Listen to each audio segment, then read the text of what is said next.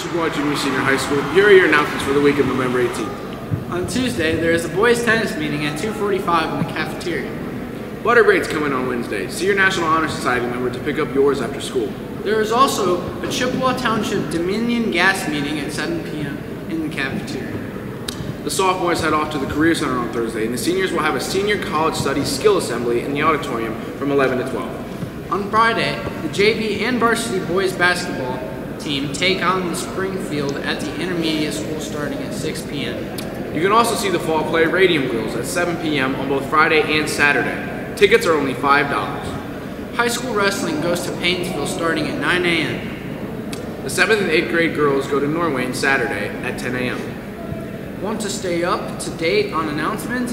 Visit www.chippewa.k12.oh.us and click the drop down box for Chippewa Junior Senior High. Scroll to the bottom and check our YouTube channel. That's it for this week. Until next time, Chippewa.